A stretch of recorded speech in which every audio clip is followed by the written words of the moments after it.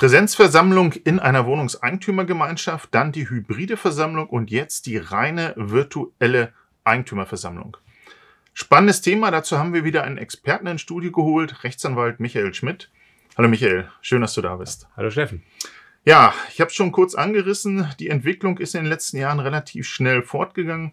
Wo ist der aktuelle Stand? Was müssen Verwalter perspektivisch beachten? Ja, wir hatten ja die WEG-Reform zum 1.12.2020, das Wohnungseigentumsmodernisierungsgesetz. Mit dem ist ja zunächst erstmal die Hybridversammlung eingeführt worden. Das bedeutet also, Präsenzversammlung findet, findet statt, zu der sich dann einzelne Eigentümer online zuschalten können. War eine schöne Sache für äh, zum Beispiel institutionelle Anleger, die eben nicht vor Ort äh, in der Eigentümeranlage wohnen oder vielleicht nur vermietet haben oder vielleicht äh, weit entfernt sind, die konnten sich halt so ein, ein zuschalten.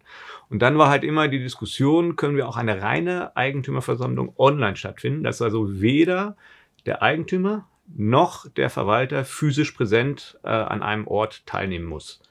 Das hat sich natürlich durch die Corona-Pandemie, wo ja tatsächlich eben äh, diese Kontaktverbote waren, wurde ja viel versucht, äh, das zu machen, war aber nach der bisherigen Rechtslage nicht zulässig. Insbesondere, weil man eben befürchtete, dass vielleicht einzelne Eigentümerrechte umgangen werden und das Kernrecht, dieses auf der Versammlung teilnehmen, dann Rederecht ausüben und so weiter nicht wahrgenommen werden konnte. Jetzt hat sich aber doch noch eine weitere Entwicklung eben, wir hatten ja schon mal darüber berichtet, Gesetzgebungsinitiative des Bundestages, wo eben beschlossen worden ist, dass auch rein ohne physische Präsident, Präsidentspräsenz äh, eben Eigentümerversammlungen mhm. stattfinden können. Äh, und das hat der Bundestag beschlossen im Juli. Das ganze Gesetz musste durch den Bundesrat noch genehmigt werden. Das ist jetzt geschehen. Am 27.09., also im September jetzt, äh, hat der Bundesrat dem Gesetz eins zu eins zugestimmt, sind also keine Änderungen mehr vorgenommen worden. Das bedeutet also, äh, dass mit einer Dreiviertelmehrheit jetzt zukünftig beschlossen werden kann, dass reine Online-Versammlungen stattfinden, ohne physische Präsenz eines Eigentümers und ohne physische Präsenz äh, des Verwalters. Ich höre jetzt schon quasi die Fragen im Hintergrund. Äh, drei Viertel beschließen, wir machen eine reine Online-Versammlung. Was passiert mit jemandem, der keinen Internetzugang hat, der es einfach nicht haben will? Gehen wir mal gar nicht davon aus, er kann es nicht, sondern er will es einfach nicht haben. Was passiert dann? Ja, das waren auch meine großen Bedenken, die ich eigentlich immer gegen so eine reine Online-Versammlung hatte. Aber in äh, Absatz 2 dieser Vorschrift steht natürlich, dass bei der Durchführung der Online-Versammlung die gleichen Rechte ausgeübt werden müssen oder müssen können, dass eben der äh, Eigentümer sowohl das Rederecht als auch das Abstimmungsrecht ausüben können muss. Das bedeutet aber für die 80-jährige äh, Wohnungseigentümer, der vielleicht gar keinen Internetanschluss hat, dass dementsprechende Angebote unterbreitet werden müssen, damit er in Form äh, äh, des Online-Teilnahme eben auch physisch, wie physisch präsent äh, eben seine Rechte wahrnehmen kann. Das heißt, die WEG muss jetzt nicht zwingend dem Eigentümer einen PC-Internetzugang zur Verfügung stellen, sondern es kann auch sein, okay, komm mit zum Verwalter, von dort aus kannst du dran teilnehmen. Oder man kann auch sagen, eine Lösung könnte auch darin bestehen, du gehst zu dem Nachbarn gegenüber, der auch Eigentümer ist und der den Zugang hat. Wie muss man sich das rein praktisch vorstellen? Ja, also das ist, sind äh, verschiedene Möglichkeiten, bieten sich da an. Und das ist eben auch äh, bei der Vorbereitung der Beschlüsse muss eben schon darauf geachtet werden, dass abgefragt wird unter den Eigentümern. Wir wollen das Ganze beschließen lassen. Besteht für euch denn überhaupt die Möglichkeit, online teilzunehmen? Und das muss abgefragt werden. Und wenn dann einzelne Eigentümer sagen, nein, ich habe gar keinen Internetanschluss, dann müssen ihm entsprechende Angebote unterbreitet werden. Und das kann äh, zum Beispiel sein, dass man sagt, wenn du damit einverstanden bist, kannst du zum Nachbarn gehen, kannst bei dem mit zuhören und äh, da auch eben teilnehmen. Es kann ein Chatraum angeboten werden. Das ist zum Beispiel bei größeren Eigentümergemeinschaften äh, der Fall, dass man zum Beispiel da sagt, da hat man einen Computer, da können dann mehrere teilnehmen. Da gibt es die unterschiedlichsten Möglichkeiten. Wichtig ist nur, dass durch diese Möglichkeiten, diese Hilfsangebote, die dann wirklich auch von der WEG, dem einzelnen Eigentümer, der die Möglichkeit nicht hat, unterbreitet werden, die gleichen Rechte ausgeübt werden können wie bei einer Präsenzversammlung. Das ist also ganz wichtig. Also nicht so wie vorher bei der hybriden Versammlung, wo man sagen konnte, okay, wenn du online teilnimmst, dann hast du kein Abstimmungsrecht oder kein Rederecht.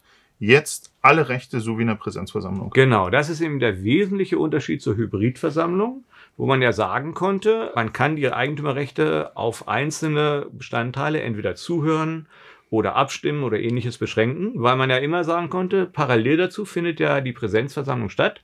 Wenn du damit nicht einverstanden bist, diese Möglichkeiten, die wir dir geben, online teilzunehmen, wenn dir das zu wenig ist, hast du jederzeit die Möglichkeit, zum Präsenzort zu fahren und an der Versammlung persönlich teilzunehmen. Und das ist ja gerade bei der reinen Online-Versammlung nicht mehr möglich. Da äh, muss tatsächlich bei der Online-Teilnahme schon äh, diese Eigentümerrechte, dieser Kernbereich der Eigentümerrechte, Rederecht, zuhören, abstimmen, das muss alles gewährleistet sein. Sonst wäre das Ganze, wenn das nicht passiert, wäre das Ganze anfechtbar. Jetzt hat der Gesetzgeber ja noch eine zweite Hürde eingebaut, und zwar eine Präsenzversammlung einmal im Jahr. Was hat es damit aus sich? Ja, da hat er natürlich auch gesagt, das Ganze muss sich erstmal einspielen. Erstmal darf es für, erstmal nur für einen Zeitraum von drei Jahren beschlossen werden, mit einer Dreiviertelmehrheit der abgegebenen Stimmen. Abgegebene bedeutet also nicht äh, der eingetragenen Eigentümer, sondern der tatsächlich an der Versammlung Teilnehmenden, die dann das so beschließen. Also das wird jetzt so in der Literatur schon in den ersten Stellungnahmen so ausgelegt, dass nur die abgegebenen Stimmen Dreiviertelmehrheit erforderlich ist. Aber dann hat man gesagt, damit sich das Ganze einspielen kann, soll, wenn man es jetzt schon beschließt, bis zum Jahre 2028 parallel jedes Jahr immer noch eine Präsenzversammlung stattfinden. Also eine Art Übergangsphase, damit genau. alle sich ein bisschen dran äh, gewöhnen. Genau. Was passiert, wenn aus welchen Gründen auch immer die Eigentümer wollen nicht, können nicht, diese Präsenzversammlung nicht stattfindet? Ja, also einmal gibt es noch die Möglichkeit, durch einen einstimmigen Beschluss äh, davon von diesem Erfordernis abzusehen. Also das kann man machen, äh, wenn aber dieser einstimmige Beschluss auch nicht zustande kommt und trotzdem auch die Präsenzversammlung nicht stattfindet, hat der Gesetzgeber tatsächlich gesagt, das führt nicht dazu, dass die auf der Online-Versammlung gefassten Beschlüsse nichtig sind und die sind auch noch nicht mal aus diesem Grunde, dass keine Präsenzversammlung parallel stattgefunden hat, anfechtbar. Also einige Autoren haben schon gesagt, es ist ja eigentlich äh, die Aufforderung zum Rechtsbruch. Also wir machen einfach die Online-Versammlung und das andere lassen wir einfach mal so, die Präsenzversammlung, weil Rechtsfolgen hat es ja nicht. Die Beschlüsse der Online-Versammlung sind weder nichtig noch anfechtbar. Okay, aber ich gehe davon aus, die professionellen Immobilienverwalter werden einfach sagen, wir machen einmal im Jahr diese Präsenzversammlung, wann wie auch immer, damit wir dem Erfordernis des Gesetzes einfach Rechnung tragen. Da gehe ich auch von aus, dass natürlich die WEG und sich der Verwalter gesetzeskontroll verhält. Es kann ja auch mal sein, dass zum Beispiel eine geplante Versammlung dann aus welchen Gründen auch immer äh, nicht stattfinden kann. Und wenn dann tatsächlich dieser Verstoß gegen diese Vorschrift zur Nichtigkeit oder zur Anfechtbarkeit der auf der Online-Versammlung zuvor geschaffenen Beschlüsse führen würde, wäre ja auch kein gutes Ergebnis. Okay, man kann die Beschlüsse hinterher in der Online-Versammlung nicht anfechten mit, dem, mit der Begründung, wir hatten keine Präsenzversammlung. Ja. Ansonsten können die aber. Sonst so muss natürlich wie jeder Eigentümerbeschluss den Grundsätzen ordnungsgemäßer Verwaltung entsprechen. Und insbesondere, wenn natürlich dieser Kernbereich der Eigentümerrechte, also dieses Teilnahmerecht, das Rederecht, das Abstimmungsrecht durch die Online-Versammlung ausgeholt werden würde, ist es ja genauso wie bei einem Ladungsmangel, wenn ich einen Eigentümer bewusst nicht einlade und er dann seine Eigentümerrechte nicht ausüben kann, wäre es natürlich jedenfalls auch anfechtbar. Das ist natürlich aus diesen Gründen von der Versammlung selbst, wenn der Beschluss nicht ordnungsgemäßer Verwaltung entspricht, kann es angefochten werden. Wenn Eigentümerrechte ausgehöhlt werden, kann es natürlich aus diesem Grunde auch angefochten werden. Nur mit der Begründung, es hat parallel keine Präsenzversammlung stattgefunden. Das wäre kein Anfechtungsgrund, weil der gerade durch das Gesetz ausgeschlossen ist.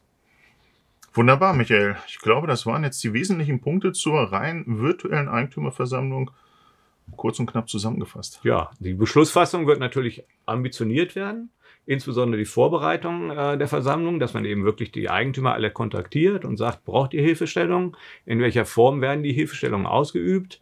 Dann die richtige Software auszuwählen. Also wir arbeiten gerade daran, diese Beschlüsse zu formulieren damit man dann auch rechtssichere Beschlüsse, die dann tatsächlich auch die Online-Versammlung ermöglichen, dann tatsächlich rechtssicher gestalten kann.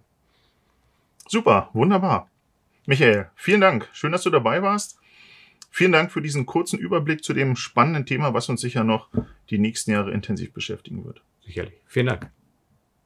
Schön, dass Sie dabei waren. Schalten Sie wieder ein, wenn wir beim nächsten Mal ein anderes spannendes Thema für den Immobilienverwalter behandeln. Dies ist ein Überblick. Zu Ihrem konkreten Fall fragen Sie Ihren Anwalt oder Groß. Wenn Ihnen dieser Beitrag gefallen hat, dann freuen wir uns über ein Like. Abonnieren Sie gerne unseren YouTube-Kanal. Wenn Sie Fragen oder Anregungen haben, gerade zu neuen Themen, schreiben Sie uns gerne einen Kommentar. Ansonsten finden Sie neben mir weitere Verwalter-Talks. Zu diesen und weiteren Themen gibt es weitere Informationen, Videos und Webinare auf livento.de. Schön, dass Sie dabei sind.